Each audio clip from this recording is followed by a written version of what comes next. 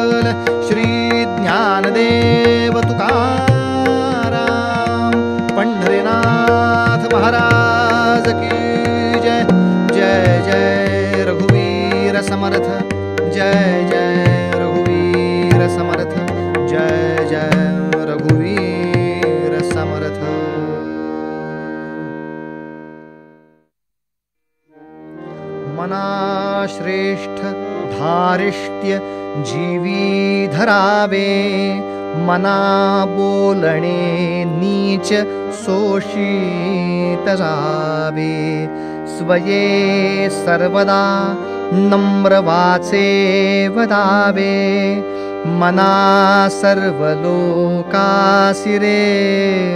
नीववावे मना धारिष्ट्य जीवी धरावे मना श्रेष्ठ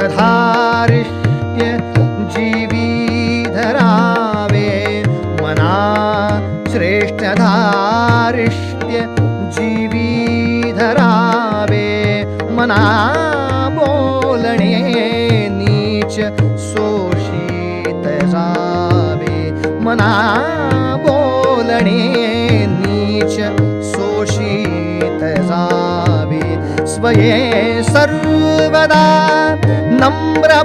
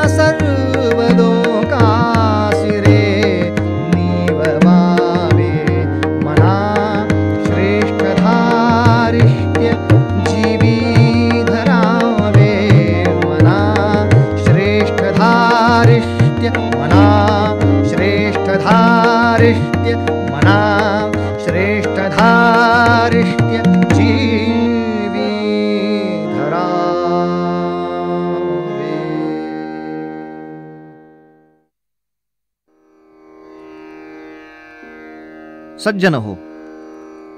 समर्थ रामदास स्वामींचा हा श्लोक पाहण्यासारखा आहे. मना श्रेष्ठ धारिष्ट्य जीवी धरावे. कित्येक वेळेला आपण शौर्य आणि धैर्य हे शब्द एकाच अर्थी वापरतो. पण यामध्ये अर्थाच्या दोन वेगळ्या छटा आहेत बरं का. शत्रू पुढे पराक्रम करणं हे आहे शौर्य. पण जीवनात अचानक आलेलं अपयश झालेला अपमान आलेलं संकट हे पचवायची ताकद म्हणजे धैर्य. प्रभू रामचंद्राने त्राटिकेचा वध केला ते शौर्य होतं. पण जेव्हा रामचंद्रांना त्यांच्या सावत्र मातेनं सांगितलं कैकईनं सांगितलं रामा यापुढे तुला चौदा वर्ष वनवासात जायचं आहे. तेव्हा हे अचानक आलेलं संकटही पचवायची त्याने तेवढीच ताकद दाखवली. ते प्रभूंचं धैर्य होतं. असंच अनेक संकटांमध्ये खंबीरपणे उभ्या राहणाऱ्या धैर्यवान महापुरुषाचं दर्शन आपल्याला महाभारतात घडतं ते विदुराच्या रूपामध्ये. विदुर अहो अनेक हिंदी कवींच्या हिंदी संतांच्या भजनातून या विदुराचा अनेक ठिकाणी उल्लेख झालाय. या विदुरावरती सूरदासांचं एक प्रसिद्ध भजन आहेच की? जी। विदूर घर जाये उद्धव जी विदूर घर जाये उद्धव जी विदूर घर जाये उद्धव जी विदूर घर जाये उद्धव जी विदूर घर जाए। शबर के पैर सुदाम जी के चावल, शबर के पैर। सुदाम जी के चावल, रुचि रुचि भोग लगाए रे। रुचि रुचि भोग लगाए रे। घर जाए विदूर घर जाए।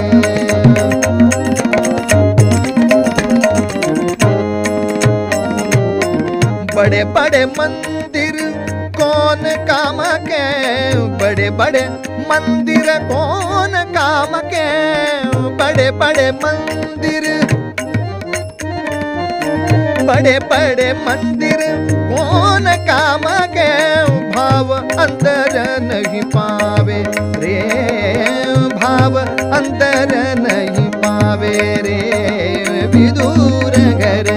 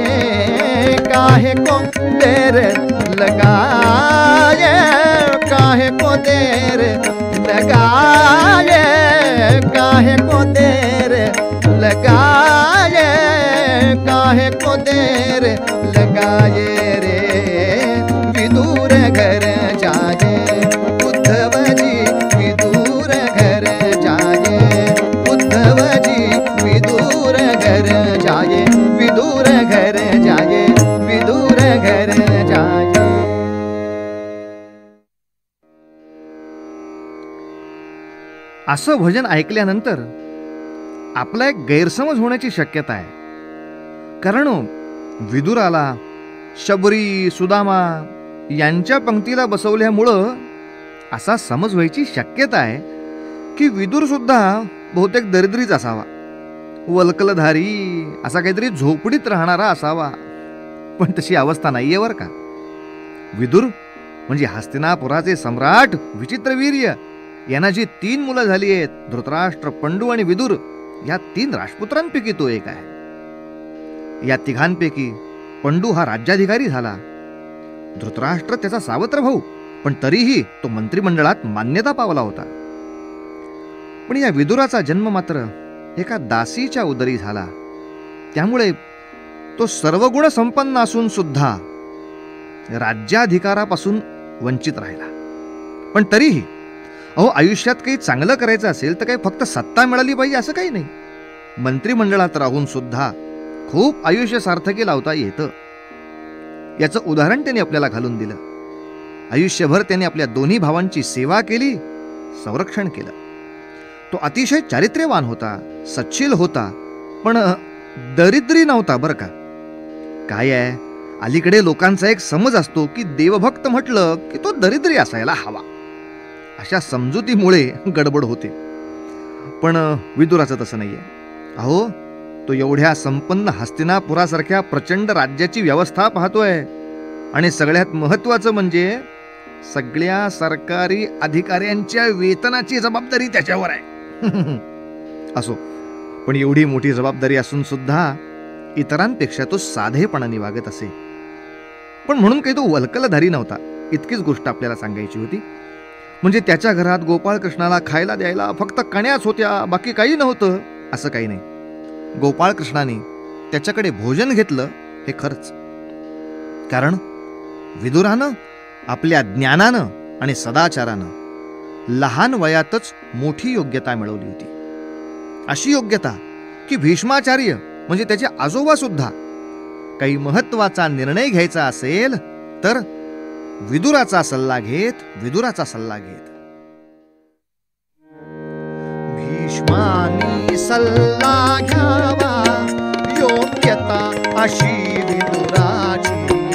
भीष्मानी सल्ला घ्यावा योग्यता अशी विदुराची. गांधार देशीची कन्या धृतराष्ट्रा ठरविली साची. कन्या कुंती पंडूला योग्य दासीचा पुत्र म्हणून दासीचा पुत्र म्हणून राज्याधिकारता म्हणून राज्याधिकार ना म्हणून राज्याभिलाषणा धरुनी राज्याभिलाषणा धरुनी. करी प्रिय बंधूंची योग्यता अशी विदुराची सेवा करी प्रिय बंधूंची योग्यता अशी विदुराची हो योग्यता अशी विदुराची हो योग्यता अशी विदुराची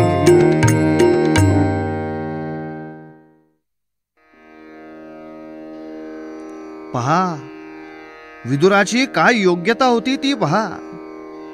हो भीष्माचार्य सुद्धा त्याला विचारायचे की बाबा रे गांधार देशची राजकन्या गांधारी आपल्या धृतराष्ट्रासाठी ठरवली आहे. योग्य आहे ना रे? कुंती भोज राजाची कन्या कुंती ती पंडूसाठी आपण नक्की केली आहे. देवक राजाची कन्या तुझ्यासाठी ठरवली आहे. तेव्हा हे सगळे विवाह योग्य आहेत ना? असा भीष्मांनी सुद्धा सल्ला घ्यावा. ही योग्यता होती.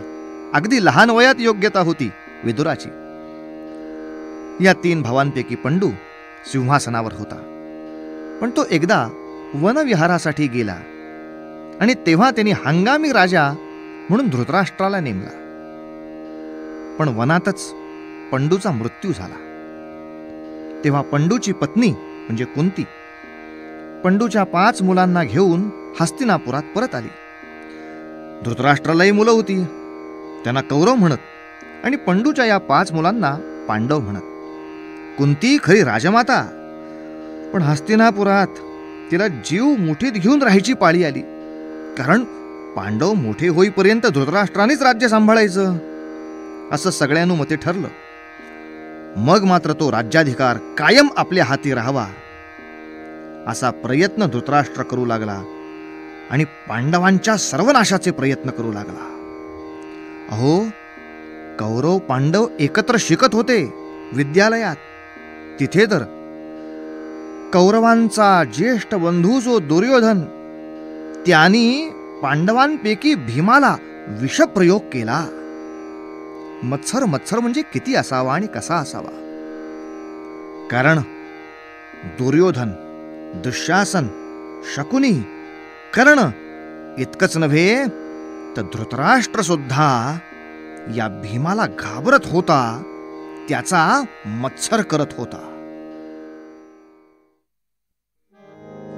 पाहोनी भीमशक्ती ती पाहोनी भीमशक्ती ती कौरवादी मनी चढफडती तेधवा वादे मनी चढफडती तेधवा शिशु असता शक्ती इतुकी शिशु असता शक्ती इतुकी गती होईल कैसी पुढती देधवा गती होईल पुढती कैसी देधवा जरी असता अग्नी सान जरी असता अग्नी सान टाकावा तरी विजवून तेधवा एकांती येऊन मिळती एकांती येऊन मिळती. विचार मग करती वधावा म्हणती वधावा म्हणती. भीमास सर्व ही भीती भीमास सर्व ही कसली नीती? ते दबा पाहोनी भीम शक्ती ती. कौरवादी मनी चढ पडती. ते दबा ते दबा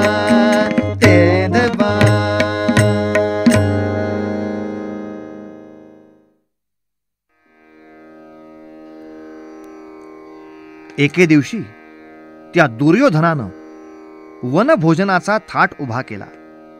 आणि या वनभोजनाच्या वेळी विष मिसळलेली भरपूर पक्वान्न भीमाला खायला घातली.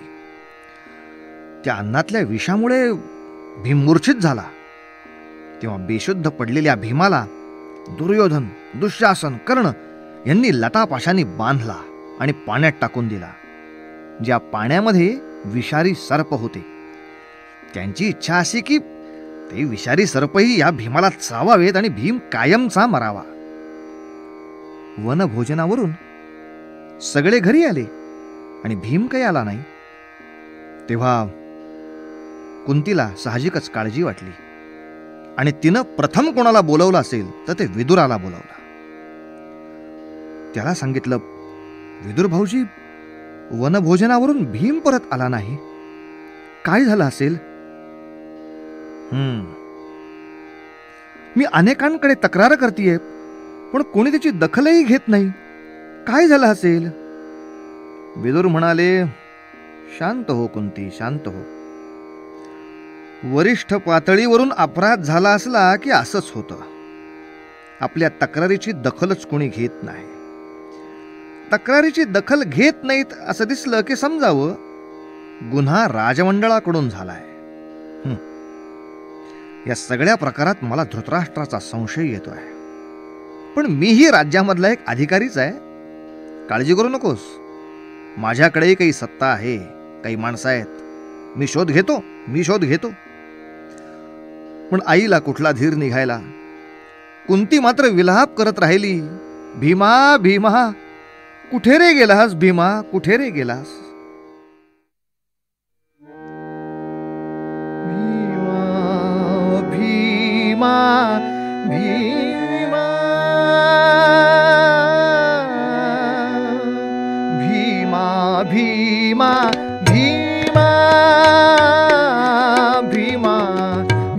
ीमा भीमा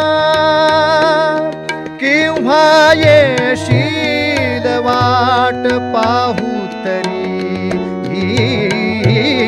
पहु शील वाट पाहुतरी कासा विस जीव हो तो रे कासा विस का साविस जीवो शतवृश्चिक वेदना फिरे वारी। वेदना वारी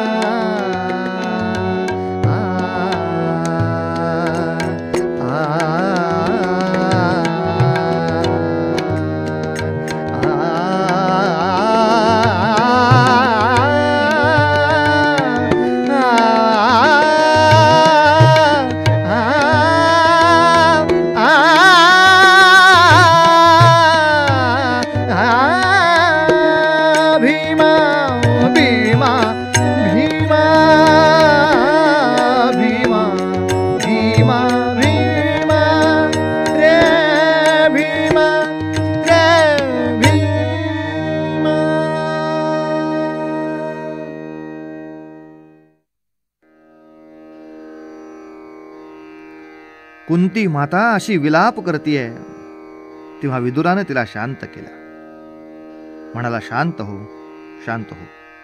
हे बघ सात आठ दिवसात मी त्याचा ठावठिकाणा नक्की शोधून काढतो. तू काळजी करू नकोस. धीर धर. भगवंताचं नामस्मरण कर. पण आता तूच धीर सोडलास तर कसं होईल बरं? बाकी पांडवांच्याकडे कोण पाहिल? तू शांत राहा. मी सात आठ दिवसात नक्की शोध काढतो.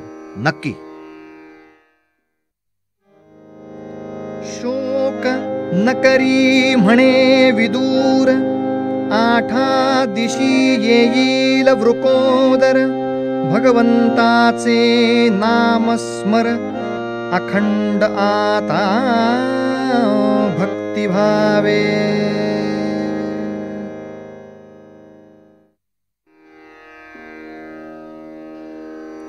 आणि इकडे काय कथा झाली? अहो या सगळ्या दुर्योधन दुःशासनांनी मिळून भीमाला तळ्यात टाकला. पण तिथल्या विषारी सर्पांनी भीमाचा चावा घेतला. त्यामुळे झालं भलतच. विषानी विषाला मारलं. अहो भीमाच्या अंगातलं विष उतरायला लागलं. भीम सावध झाला. आणि सावध झाल्यावर मात्र त्याच्या सगळ्या गोष्टी लक्षात आल्या. क्रोधाच्या आवेशात त्यांनी हातीपायी बांधलेले सगळे लतापाश तोडले. जे कोणी नागसर्प त्याला बांधत होते त्यांनाही शेपटीला धरून गरगरा फिरवून दूर फेकून दिले. घरी आला. आणि हे सर्व काही शांतपणे त्याने कुंतीला सांगितलं. तेव्हाही कुंतीनं विदुराला बोलवून घेतला भीम आलाय. तेव्हा विदुराने मात्र एक सल्ला दिला सावध सल्ला दिला. विदुर म्हणाले कुंती वहिनी दुर्योधनाने विषप्रयोग केला म्हणून आपल्याला दरबारात आरोप करता येणार नाही. असा आपण आरोप केला तर फजिती आपली होईल. दुर्योधनाने अन्नात विष घालायला सांगितलं आणि आम्ही अन्नात विष घातलं अशी साक्ष कोण देणार? बर. दुर्योधनाच्या मनात पांडवांचा नाश व्हावा असं आहे तसंच धृतराष्ट्राच्याही मनात आहे. मग न्याय कोण देणार? तेव्हा वहिनी आता आपण फक्त सावध राहू इतकाच याच्यावरती उपाय आहे. कारण आपण जर आता बोललो तर कौरव कपटी आहेत हे आपल्याला कळलंय हे त्यांना कळेल. त्यामुळे कौरव सावध होतील. शांत रहा. हे प्रकरण इथेच संपवा. पुन्हा असा प्रकार होऊ द्यायचा नाही. इतकंच आपल्या हाती आहे. आज आपल्याला तक्रार करता येणार नाही वहिनी. कारण नुसता दुर्योधन नाही धृतराष्ट्र सुद्धा तेवढाच कपटी आहे धृतराष्ट्र सुद्धा तेवढाच कपटी आहे. धृतराष्ट्र हे कपटी कुंती धृतराष्ट्र हे कपटी कुंती धृतराष्ट्र हे कपटी.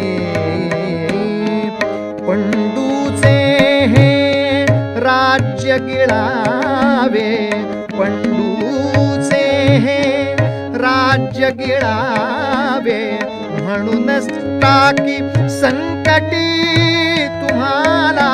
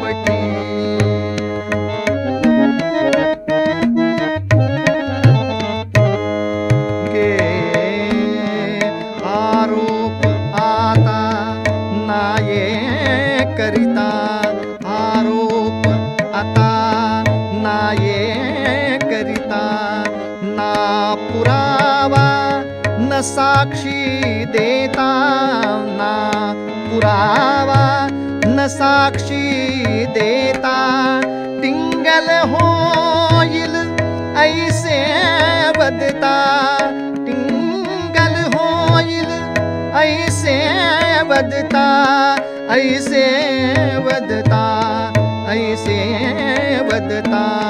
सावध राहू आपण आता गोष्ट हीच मोठी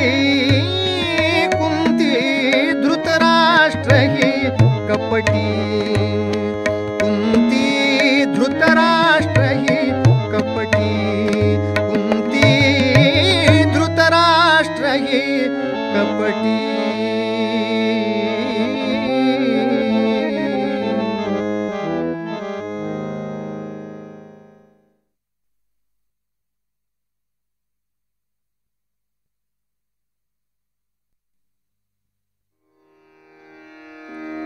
सज्जन हो. हस्तिनापुराच्या साम्राज्याचे खरे वारस होते पांडव. पण त्यांचा नाश करण्यासाठी त्यांचा काका धृतराष्ट्र म्हणजे हस्तिनापुराचा विद्यमान सम्राट प्रयत्न करत होता. विदुर या धृतराष्ट्राच्या दरबारातला एक मंत्री होता आणि धृतराष्ट्राचा भाऊही होता. धृतराष्ट्र वाईट वागतो म्हणून विदुरानं त्या मंत्रिमंडळातलं आपलं स्थान सोडलं नाही. फक्त त्या पदावरच राहून. धृतराष्ट्राचे गुप्त बेत जाणून घेऊन विदुराने मात्र सगळ्यांच्या नकळत व्यवस्थितपणे सज्जनांचं कल्याण केलं. विदुराने कुंती वहिनीला शब्द दिला होता की पांडवांवर यापुढे संकट येणार नाही. आणि समजा आलंच तर संकट येण्यापूर्वीच त्यावर आपण उपाय केलेला असेल. आणि विदुराने हा शब्द पाळला. सर्व राजकुमारांचं शिक्षण पूर्ण झालं आणि त्यानंतर सम्राट पंडूचा ज्येष्ठ पुत्र युधिष्ठिर त्याला राज्याभिषेक झाला. कारण धृतराष्ट्राच्या पूर्वी पंडू हाच सम्राट होता. त्याचा मृत्यू झाल्यामुळं पांडव मोठे होईपर्यंत धृतराष्ट्र हा हंगामी म्हणजे तात्पुरता राजा होता. आता पांडव मोठे झाले होते. तेव्हा त्यांच्यातला थोरला राज्यावर येणार. या न्यायानं युधिष्ठिराला राज्याभिषेक झाला. पण सज्जन हो एक लक्षात ठेवायचं. एक भाऊ राज्यावर आला म्हणजे बाकीचे काही भेकेला लागत नसत. त्यांनाही मंत्रिमंडळामध्ये स्थान असेच. तेव्हा असा नाही विचार करायचा. धृतराष्ट्राने तसा विचार केला. की थोरला माझा तो पंडू राज्यावर असल्यावर मग मला राज्य कसं मिळणार? मग माझ्या आयुष्याचं काय होणार? अमुक काय होणार? मग माझ्या दुर्योधनाला राज्यच करायला मिळणार नाही. अहो दुसऱ्या भावाला राज्य करायला मिळणार नाही असंच जर दुःख असेल तो दुर्योधन गादीवर बसला की बाकी नव्याण्णव कौरवांना त्यांना कुठं राज्यावर बसता येणार होतं? प्रत्येक वेळेला मत्सर करून नाही झालं आपण आहे त्या पदावर राहून खूप काही लोककल्याण साधू शकतो. अहो याचाच तर आदर्श आहे विदूर. राजा नसतानाही विदुराने जे नाव कमावलं ते राजे असून यांना कमावता आलेलं नाही. तेव्हा कथा अशी चालली आहे की युधिष्ठिराला राज्याभिषेक झाला. सगळे पांडव लोकप्रिय व्हायला लागले. मग मात्र धृतराष्ट्र शकुनी दुर्योधन दुःशासन कर्ण सगळ्यांनी मिळून एक डाव केला. की या पांडवांना वारणावत नावाच्या तीर्थक्षेत्रात यात्रेला मुद्दाम पाठवलं. आणि पांडव तिथे पोचण्यापूर्वीच एक सुंदर असं घर तिथे तयार केलं. पांडवांना राहण्यासाठी. हे घर म्हणजे एक भयानक लाक्षागृह होत. त्वरित जळणाऱ्या अनेक वस्तू भरलेल्या भिंती ज्याच्या आहेत. जी वास्तू पेटली तर त्यातून कोणीही जिवंत बाहेर पडू शकणार नाही अशी भयानक ज्वालाग्राही वास्तू असं लाक्षाघर लाक्षागृह या कौरवांनी बांधलं. विदुराला गुप्तपणे ही वार्ता समजली. पण त्याला उघडपणे पांडवांना ते सांगता येईना. पण पांडव जेव्हा तीर्थयात्रेला निघाले तेव्हा हळूच विदुराने धर्मराजाला सांगितलं धर्मराजा सावध राहा. यात्रेमध्ये अग्निभय आहे. एवढं लक्षात ठेवून सावध राहा. तुझा काही धीर अशा छोट्या मोठ्या गोष्टींनी खाचायचा नाही. तू मोठ्या धीराचा सुधीर असा तू धैर्यवान आहेस. म्हणून सांगून ठेवलं सावध राहा बाबा सावध राहा. सुधीरा रे। फसवित काका तुला। सुधीरा रे। फसवित काका तुला। सुधीरा रे। फसवित काका तुला। सुधीरा रे। फसवित काका तुला। वारणावती जावे म्हणती वारणावती जावे म्हणती काका तुझला भोळे दिसती काका तुझला भोळे दिसती परंतु हे तू जाण अग्निभय परंतु हे तू जाण अग्निभय तेथे सतत तुला सुधीरा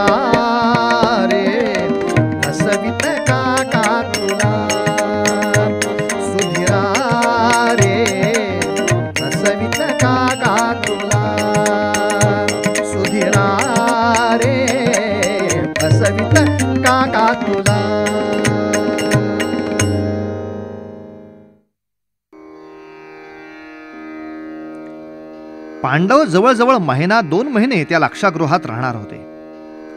पण पांडव तिथे पोचताच दुसरेच दिवशी विदुराकडून एक माणूस तिथे पोचला. त्याने धर्मराजाची भेट घेतली आणि सांगितलं मी खनक आहे. मला भुयार खणण्यासाठी इथं पाठवलाय. माझ्या पगाराची चिंता करू नका. तो मला विदुरांकडून मिळालाय. तेव्हा त्या खनकाच्या साह्यानं पांडवांनी भुयार तयार केलं आणि एक दिवस स्वतःच ते घर पेटवून दिलं आणि त्या आगीतून निसटले. आगीत पांडव संपले. अशी सगळ्यांची समजूत झाली. पण पांडव त्या भुयारातून निसटले होते. पण भुयारातून निसटल्यानंतरही वारणावत तीर्थक्षेत्रातली जी नदी होती ती पार करून पलीकडे जायला हवं. मग त्यासाठी विदुरानं एक नाविक आपल्या नावेसह तिथं ठेवलेला होता. इकडे हस्तिनापुरामध्ये वार्ता आली. पांडव मेले पांडव मेले पांडव मेले. मग काय? धृतराष्ट्राने पांडवांचं श्राद्ध घातलं. तिथे सुद्धा विदुर शांतपणे उभा होता. पांडव जिवंत आहेत हे फक्त त्यालाच माहीत होतं. ते जिवंत असावेत असा दुर्योधनालाही संशय होताच. म्हणून त्यांनी गुप्तपणे आपले सैनिक पाठवले होते आसपासच्या प्रदेशात. त्यांना आज्ञा होत्या पांडव कुठे दिसले ते संपवा. पण दुर्योधनाच्या सैनिकांच्या मागावर विदुरांनी आपले काही लोक ठेवले होते. अर्थात त्यांची गरज लागली नाहीच. दुर्योधनाच्या सैनिकांना पांडव सापडलेच नाहीत. पण विदुराची कर्तव्य तत्परता आपण लक्षात घेतली पाहिजे की विदुरांनी योजना करून ठेवली होती. योजना करून ठेवली होती. पुढे जवळजवळ बारा वर्षांनी पांडव प्रगट झाले. ते द्रौपदी स्वयंवराच्या वेळी. अहो लोकांमध्ये आनंदाची लहर उसळली. वा वा वा पांडव येणार पांडव येणार ते जिवंत आहेत सगळे आनंदले. तरी सुद्धा धृतराष्ट्र त्यांना बोलवायला काही तयार नव्हता. तेव्हा शेवटी विदुराने त्याला समजावलं धृतराष्ट्रा अरे राजा धृतराष्ट्रा राजा म्हणून अक्कल येत नसेल तर सांगतो माझ्या भावा धृतराष्ट्रा. अरे जागा हो बाबा जागा हो. पांडवांची योग्यता पांडवांची योग्यता जाणून घ्यावी. तुम्ही आता पांडवांची योग्यता जाणून घ्यावी तुम्ही आता पांडवांची योग्यता. द्रुपद आणि यादवांचे बलतयाना लाभले ृपदी यादवा बलतयाना भे आहि नागरिकजन सर्वहि आनन्दले। आपुलेहि नागरिकजन सर्वनन्दले मोह सोडावा मुलांचा मोह सोडावा मुलांचा.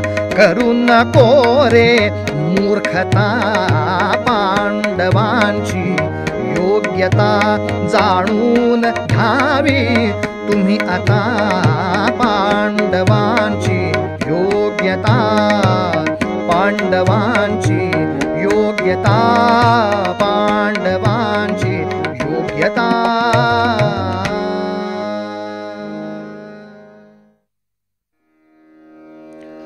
विदुर धृतराष्ट्राला सांगत होता अरे वेड्या द्रौपदी स्वयंवराने पांडवांचं बळ वाढलंय. द्रुपद राजा त्यांचा सासरा या नात्याने त्यांच्या मागे उभा आहे. गोपाळकृष्ण त्यांचा मामे भाऊ तो या स्वयंवराच्या वेळी त्यांना भेटलाय.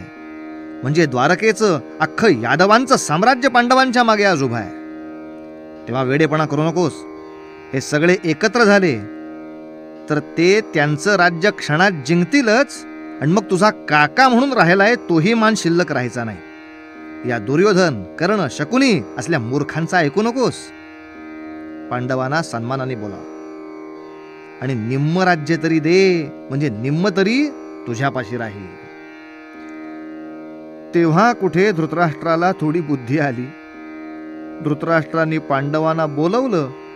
आणि निम्म राज्य या नावाखाली खांडव वन नावाचं जंगल दिलं. काही का असेना या एका गोष्टीवरून आपण एक लक्षात घेतलं पाहिजे की विदुराचा धृतराष्ट्रावर सुद्धा वचक होता. तो यथाशक्ती आपल्या प्रभावाचा उपयोग करत असे. धृतराष्ट्र एकांतात असला की दुर्योधनाला सांगायचा अरे दुर्योधना त्या पांडवांचा नाश व्हावा असं जसं तुझ्या मनात आहे तसंच माझ्याही मनात आहे रे माझ्याही मनात आहे. पण मी सगळ्यांचे देखत तुला अनुमोदन देत नाही. तसं जर मी दिलं तर माझा स्वर माझा चेहरा यावरून माझ्याही मनात कपट आहे. हे हे तो विदूर ओळखेल रे तो विदूर ओळखेल. म्हणून मी सगळ्यांच्या देखत पांडवांची स्तुती करत राहीन. हा? तू काय कपट करायचं ते कर. माझा तुला पाठिंबा राहील. गंमत पहा. धृतराष्ट्र कपट करतोय. हे विदुराला कळत नाही असा धृतराष्ट्राचा गोड गैरसमज आहे. अर्थात विदुर सुद्धा तेवढाच शहाणा होता. त्यांनी तो गैरसमज कायम ठेवला होता धृतराष्ट्राचा. पण धृतराष्ट्र आणि दुर्योधनाने ठरवलं. की आपण पांडवांना खांडव वन दिलं. पण तिथे त्यांनी एक संपन्न राजधानी उभी केली. ते त्यांचंही राज्य आपल्याला मिळवायचं आहे. पण ते लढून नाही मिळणार. कपटाने मिळवता येईल कपटाने. आणि म्हणून मग जुगाराचा डाव मांडला. द्यूताचा डाव मांडला. आणि त्यात पांडवांना द्यूत खेळायला बोलावलं. पांडवांना द्यूतासाठी खेळायला बोलवायला सुद्धा धृतराष्ट्रांनी मुद्दाम विदुरालाच पाठवलं. तेव्हा विदुर स्वच्छपणे बोलले धर्मराजा तू द्यूत खेळायला जावस अशी माझी इच्छा नाही. तू जाऊ नकोस कारण दुर्योधन ते खेळणार नाहीये. तर कपटानी जो हमखास त्याच्यामध्ये यशस्वी होतो तो शकुनी मामा. तो डाव खेळणार आहे. पण त्यालाही आपण जिंकू शकू असा धर्मराजाच्या मनाला नको तो आत्मविश्वास होता हो. गाय कसाह्याला धार्जिणी? काय करणार विदूर? विदूर स्पष्ट स्पष्टपणे सांगत होता हे बघ मी धृतराष्ट्राचा सेवक आहे म्हणून बोलवायला आलो. पण माझं मत म्हणून म्हणशील तर येऊ नकोस. पण काय करणार? तरीही धर्मराजा आला. द्यूत झालं. त्यात पांडव राज्य हरले खजिना हरले. आणि शेवटी दुर्योधन म्हणाला अरे धर्मराजा अजून तुझ्याकडचं सगळं काही संपलेलं नाहीये. तुझी बायको लाव ना डावावरती तेव्हा ताडकण विदूर उठला. सगळ्या दरबारात देखत धृतराष्ट्राला म्हणाला राजा यासली नालायक कराटी तुला काय करायची त्याग कर आत्ता त्याग कर नाही तर या सगळ्या पापाचा धनी फक्त तू होशील राजा. फक्त तू. अरे तुझी पुरत या मूर्खपणासाठी युद्धात मरतील. एका यातनेच्या छटक्यात मरतील. पण हे तू होऊ दिलंस म्हणून तू मात्र जन्मभर जळत जळत जळत मरशील. यातनांनी जळत मरशील निपुत्रिक म्हणून मरशील. हे पाप थांबाव.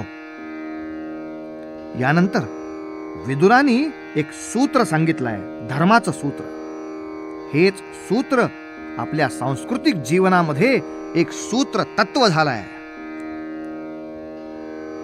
विदुर सांगतायत राजा राजा कुळाची शुद्धता आणि कीर्ती राहणं हे महत्वाचं आहे. यासाठी अशा नालायक संततीचा त्याग करावा लागला तरी तो करावा आपण कुळाची शुद्धता राखावी. आपलं कुटुंब त्याग केल्यामुळं जर गावाचं कल्याण होत असेल तर आपलं घरदार त्याग करावं. जर सगळ्या समाजाचं कल्याण आपण गाव सोडल्याने होणार असेल तर आपण गावही सोडावं. लक्षात ठेव राजा आत्मोद्धारासाठी पृथ्वीही सोडावी. हे धर्माचं सूत्र आहे. हे धर्माचं सूत्र आहे. त्यजेदेकं कुलस्यार्थे ग्रामस्यार्थे कुलं त्यजेत् ग्रामं जनपदस्यार्थे आत्मार्थं पृथिवीं त्यजेत्।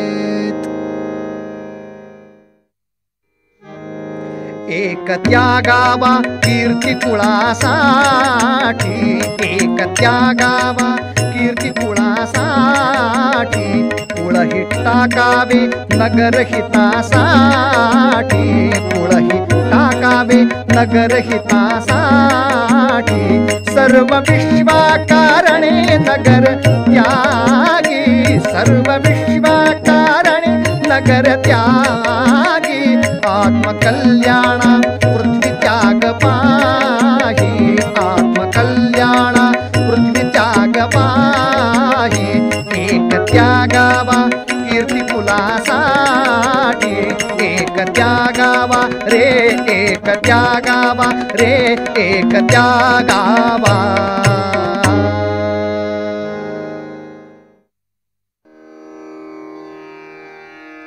ते द्यूत थांबवण्याचा विदुराने खूप प्रयत्न केला. पण शेवटी द्यूत झालंच. त्यात पांडव आपलं राज्य हरले खजिना हरले. आणि बारा वर्ष वनवास आणि एक वर्ष अज्ञातवास भोगून परत आल्यानंतर कौरवांनी ते राज्य पांडवांना परत द्यायचं असा करार ठरला. पण ही वनवासाची बारा वर्ष आणि अज्ञातवासाचं एक वर्ष.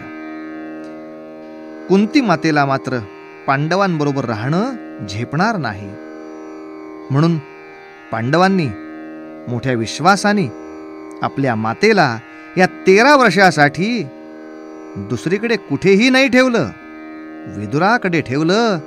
ही विदुराची योग्यता ही विदुराची योग्यता. तेरा वर्षांसाठी तेरा वर्षांसाठी राहे विदुरा घरी कुंती माता. सर्वच पंडुसुतांचा सर्वचे पंडुसुतांचा ऐसा विश्वास हो सतत विदुरावरचा.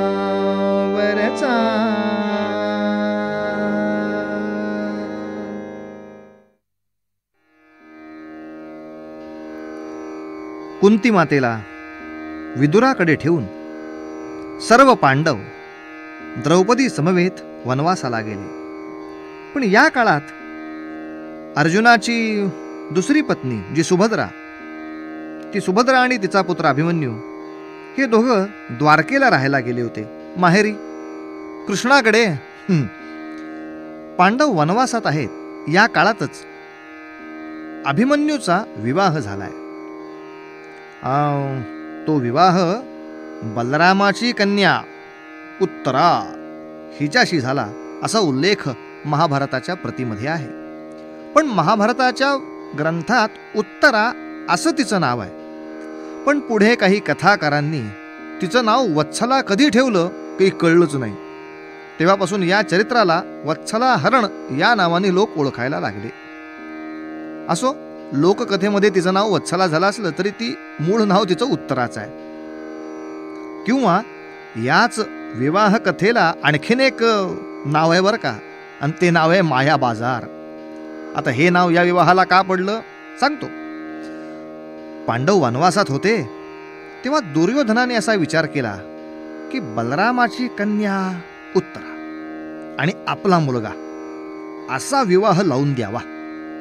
असं लग्न एकदा लागलं की यादवांची सत्ता कौरवांची पाठराखण करेल. आणि तसं लग्न ठरलं हो. ही वार्ता सुभद्रेला कळली ती गडबडली. त्यावेळेला सुभद्रा अभिमन्यूसह तीर्थयात्रेला गेली होती हरिद्वार या तीर्थक्षेत्राला. गोपाळकृष्णही तिकडेच होते. त्याच वेळेला यात्रा करण्यासाठी विदुर आणि कुंती तेही हरिद्वारला त्या ठिकाणी आले होते. सगळ्यांना वार्ता कळली सगळेच गडबडले. अरे पूर्वी असं ठरलं होतं की अभिमन्यूचा विवाह त्या उत्तरेशी करायचा. आणि आता अचानक दुर्योधनाच्या मुलाशी लग्न ठरलं. छे छे छे छे छे छे. हे काय बरोबर नाही. काहीतरी गडबड केली पाहिजे. तेव्हा अभिमन्यू रथ घेऊन निघाला द्वारकेकडे. बलरामाला जाब विचारायला. घाईघाईने निघाला. रथामध्ये आईला घातली आणि धाड धाड धाड धाड धाड धाड धाड धाड वाजवत रथ द्वारकेकडे जायला लागला. हम्म. विदुर त्यांच्या पाठलागावर होताच. गोपाळकृष्ण म्हणले शेवटची सारवासारव करायला मी येतोय. पुढचं युद्ध जरा तुम्हीच लढा या वेळेला. चला पुढे चला. आणि असा तो अभिमन्यूचा रथ एका अरण्यातून जात असताना एका राक्षसाने अचानक तो रथ अडवला. आणि तो अभिमन्यूशी युद्ध करायलाच उभा राहिला. तो महाभयानक राक्षस म्हणाला मूर्ख तू ध्वंसिले आमच्या कानना मूर्ख तू ध्वंसिले आमच्या कानना सिद्ध हो सिरणा आज आता सिद्ध हो सिरणा आज आता अश्व मारून या मारिनची पालका अश्व मारून या मारिनची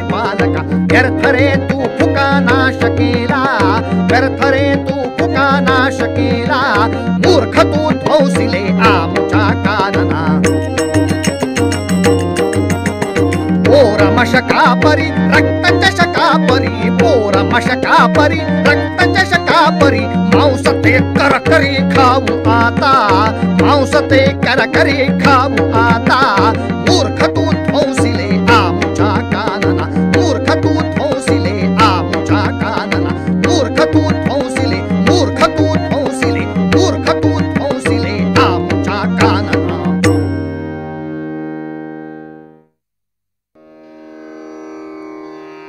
राक्षस आणि अभिमन्यू दोघं युद्ध करू लागले.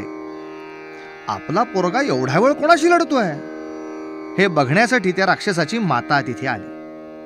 त्या युद्धामध्ये अभिमन्यूने असा पराक्रम केला की त्या राक्षसाला बेशुद्धच पाडला.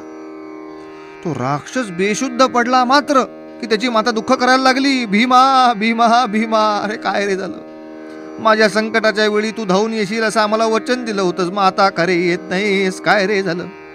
भीमा हा शब्द ऐकताच सुभद्रा चमकली.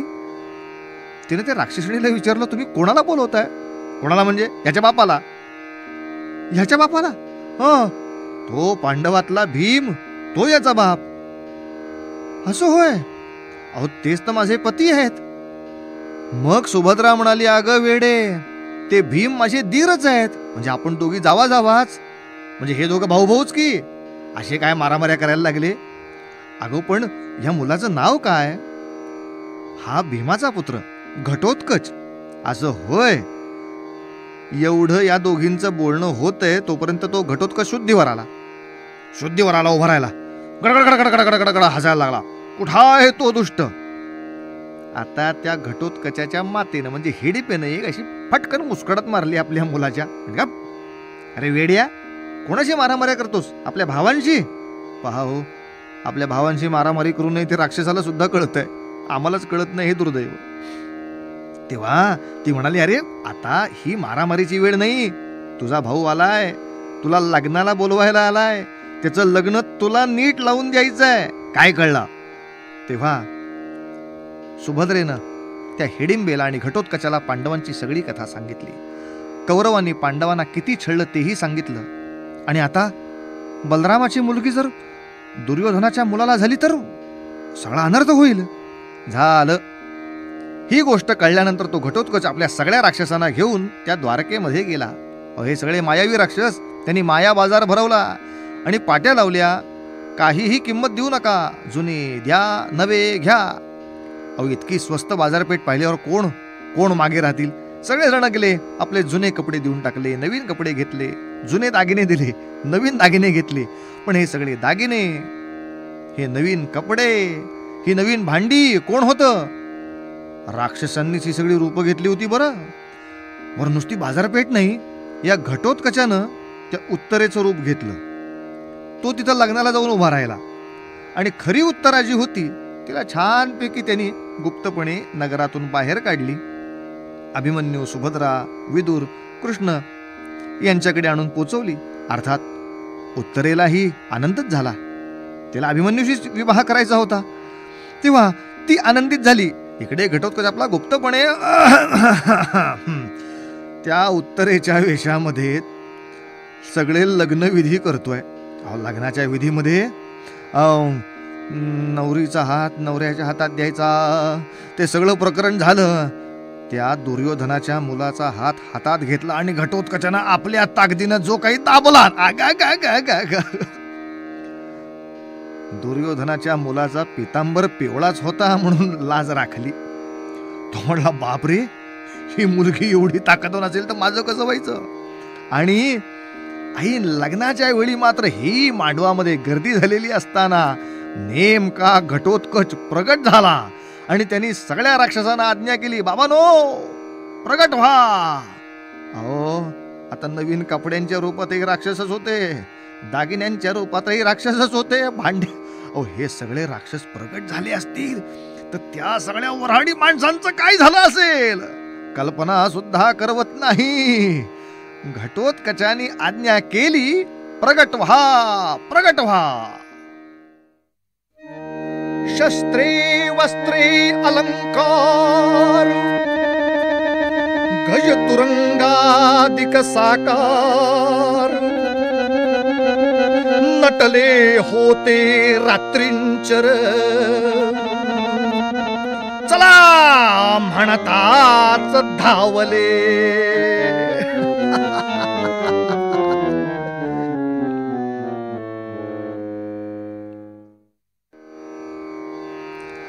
या कथेमधला चमत्कार वगळता एवढं मात्र लक्षात येतं की विदुरानं घटोत्कचाची मदत घेऊन दुर्योधनाचा हा कपटी डाव उधळून लावला.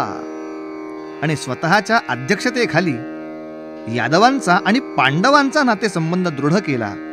उत्तरेचं आणि अभिमन्यूचं लग्न विदुरानं लावून दिलं. अर्थात वनवास संपल्यानंतर शेवटचं समेटाचं बोलणं करायला गोपाळकृष्ण हस्तिनापुरात आले. तेव्हा सुद्धा ते फक्त विदुराकडेच गेले. कारण कुंती माता तिथे होती तिला भेटायचं होतंच. पण त्याचं दुसरं कारण गोपाळकृष्णाने सांगितलं की द्यूत चालू असताना सज्जनांचं अकल्याण चालू असताना यथाशक्ती खऱ्या अर्थाने जर कोणी बोलला असेल तर तो विदुरच बोलला. म्हणून मी त्याच्याकडे जेवावं ही फक्त त्याचीच योग्यता आहे. अशी परमेश्वराने सुद्धा विदुराची योग्यता जाणली जाणली. अर्थातच शेवटच्या युद्धात विदुर उतरलेच नाहीत. युद्ध संपल्यानंतर धृतराष्ट्र गांधारी आणि कुंती यांच्यासह ते वानप्रस्थात गेले. पण नुसत्या सचिव पदावर राहून सुद्धा किती उत्तम प्रकारे जनहित करता येतं हे विदुराच्या या व्यक्तिरेखेतून आपल्याला व्यासाने दाखवलंय. मना बोलणे नीच शोषित जावे स्वये सर्वदा नम्र वाचे वदावे. मना सर्व लोकासिरे नीव वावे. मना श्रेष्ठधारिष्ट्य जीविधरा।